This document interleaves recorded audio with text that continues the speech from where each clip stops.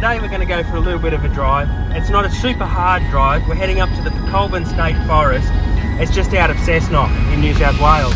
We're going to a little lookout called Yellow Rock.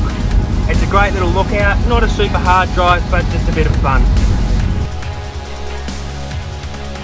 Just turning off Wollombi Road onto Cedar Creek Road. We're going to hit the dirt soon.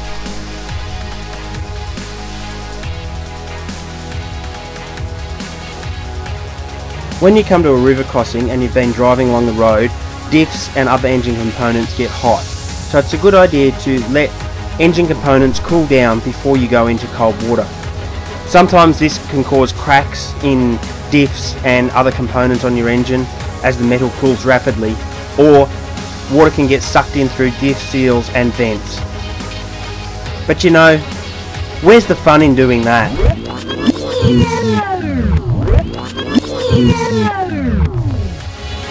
With my niece and nephew in the car, this was a whole lot more fun. They absolutely loved it.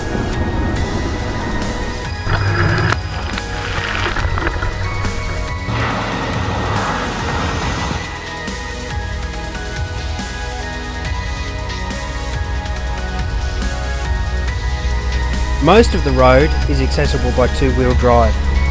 When you get further on, you're probably going to want something with a little bit more clearance as there are rough sections on the road.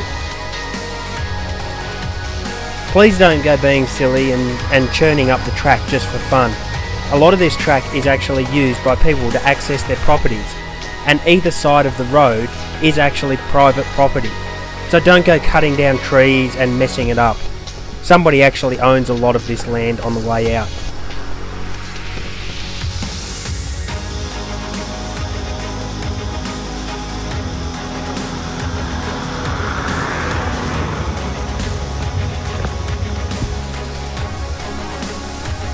As you can see, this is one of the sections where you may want something with a little bit more ground clearance just to get down to the end of the ridge.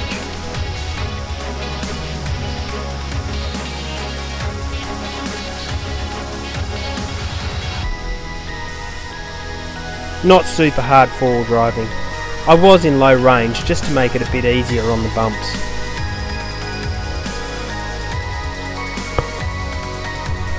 The Yellow Rock Reserve is an Aboriginal cultural heritage area, so please do not deface this, take respect when walking on the rock, and don't damage the area. There is no cars allowed down on the rock, and there is no camping a few hundred metres back from the reserve.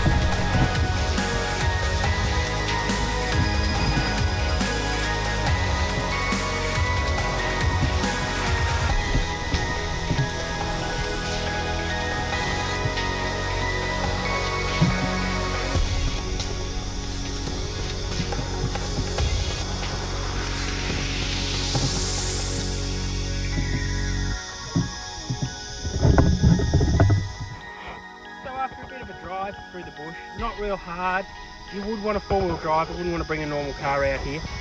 We're here, here at Yellow Rock. Now this is a culturally significant place for Aboriginals. And to my understanding, they used to come and meet here on this rock. Different tribes would come and meet. And there's actually a carving, and I think this is it here. It's not very good, but you can see there's an eye and sort of a, a tail down there. It's the head of a kangaroo that is supposed to be carved here on this rock. So we're going to go for a bit of walk and see what else we can find.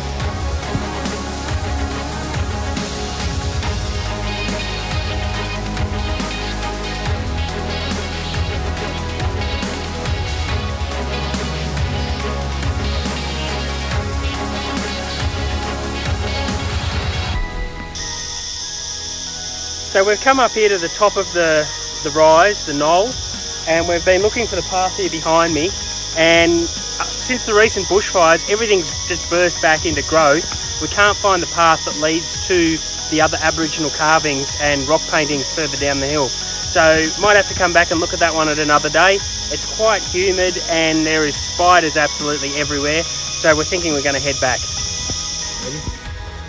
Well we didn't find the carvings and the paintings out the end of the ridge. It was all overgrown. I'm not indigenous, so I don't know where they are. I think that I'm going to have to come back and find them, possibly in winter when it's a bit cooler. It's also a good thing that uh, we turned around and came back because we've got a big rain shower coming in that's about to drench us. So we still had fun getting out here to Yellow Rock. It's a good little day trip. I would recommend it.